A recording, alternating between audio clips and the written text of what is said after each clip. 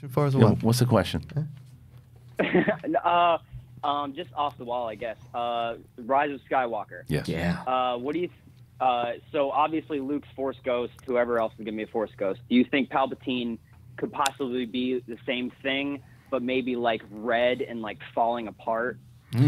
Well, there's been we've had some kind of conversation about this too. I I think it could it can manifest in a couple of different ways. I think that one of them is that it could either be a holocron where you, whether it's uh, you know uh, Kylo Ren still learning stuff from him. Um, there could be stuff to where he's kind of doing the Voldemort and taking the possession of other people's bodies. What are you hoping, Kristian?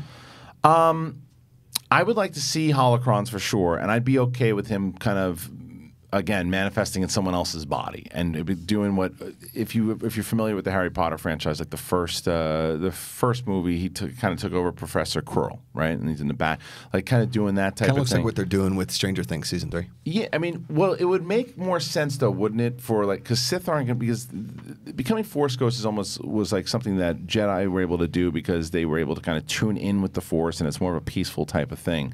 Um, because Qui Gon, it took a while for him to even know how to do it in physical form.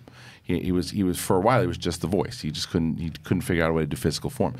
This is in the books. Idiot. This is in the TV series. Oh. In in uh, Clone Wars and, and Dumb, Rebels.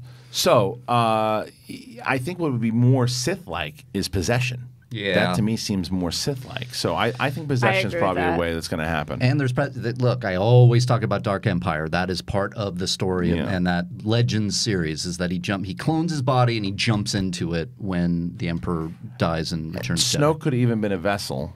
Um, that's what I'm wondering. Yeah, I'm Snoke starting to could have been head a there a little bit more. Do you think? Could have been a vessel. Like, Huh. uh, What, so, so how? What would you think if Kylo Ren died at the end? He's Kylo Ren. First of all, what I I've been saying it for a while, and I'm just going to be. I'm just gonna have to accept it. Uh, I think they're already leading into it just from the trailers alone. They're gonna redeem him, and I think that this is boring. I want it so bad that it hurts. Redeem? Yeah, That's I so I've never I- I wanted want him- something as bad as I want It's that. so I want him to go down You're- Sith. this is Yeah. dull. Oh, okay. It's, That's a, it's a good argument. um, but no, I just, one. I just think. TT double S. But him dying, yeah, he probably will die. But I think it's it's it's going to be after a redemption angle.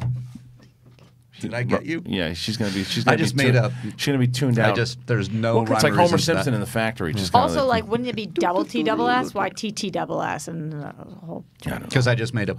who gives a letters. shit? Thank you for the phone call.